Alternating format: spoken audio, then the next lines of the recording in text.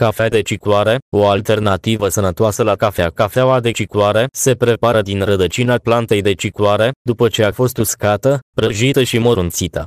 Are un gust amărui și se poate îndulci cu miere de albine.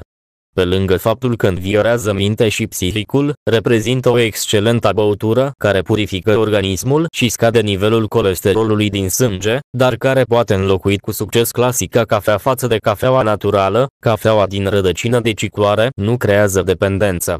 Persoanele care au un apetit alimentar crescut pot bea zilnic, între mesele principale, 2-3 când de ceai de cicoare. Infuzia se prepară dintr-o lingură de cicoare uscată la o cană de apă clocotită. Se lasă la infuzat 10 minute, apoi se strecoară și se bea. Consumată zilnic, un alt beneficiu este că infuzia de cicoare scade pofta de mâncare. Trebuie să știi că cicoarea conține vitamine și minerale, aducând organismului uman un aport însemnat de nutrienți. Datorită substanțelor conținute, cicoarea este indicată în afecțiuni precum gastrite, hepatite, enterocolite, paraziți intestinali, hemoroizi, artrită, astenie, depresie, migrene, infecții urinare, reumatism și altele.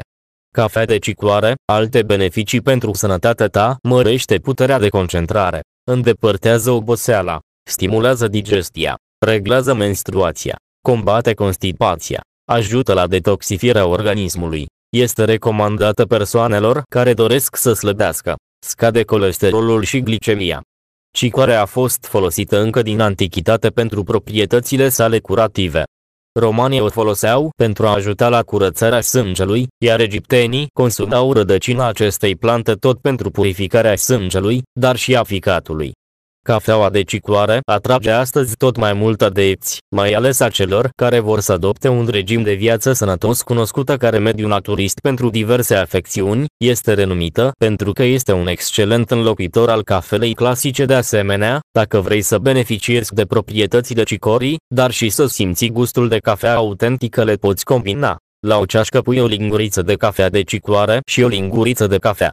Multă sănătate oameni buni! Consumați cafea de cicoare cât de des puteți pentru beneficiile sale. Pentru a rămâne la curent cu noutățile de pe canal, abonați-vă, apreciați materialul și distribuiți canalul.